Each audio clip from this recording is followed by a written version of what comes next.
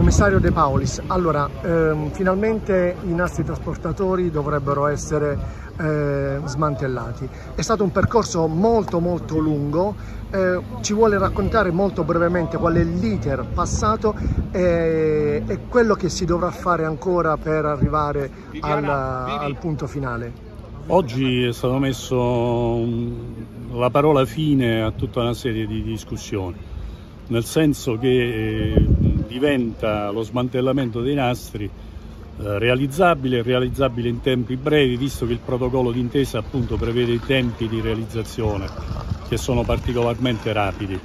Eh, ovviamente dal punto di vista della, questa, dello smantellamento dei nastri è una questione che risale a molti anni fa, nel senso che i nastri sono stati completati nel 2000 e mai collaudati e mai consegnati all'ASI, che era la stazione appaltante per conto della Cassa del Mezzogiorno.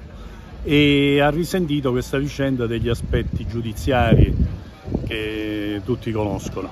Ovviamente nel frattempo sono passati moltissimi anni, i nastri sono diventati non più obsoleti e non più utilizzabili. Questa è un accertamento che ha fatto fare il CDA dell'ASI, quindi è stata la premessa per lo smantellamento. Eh, qual è l'importanza? Quella di consentire innanzitutto la realizzazione di un progetto sul raccordo ferroviario che insiste diciamo, nella zona proprio dei nastri trasportatori e il collegamento alla piattaforma logistica dell'Incoronata dove c'è un progetto di 40 milioni di euro che sta andando avanti nella fase esecutiva. Questo collegamento è fondamentale per valorizzare gli aspetti eh, della logistica ovviamente.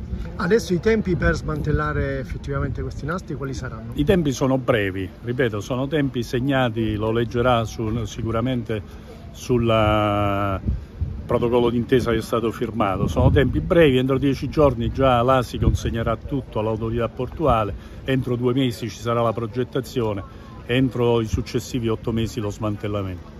In bocca al lupo e buon lavoro. Grazie.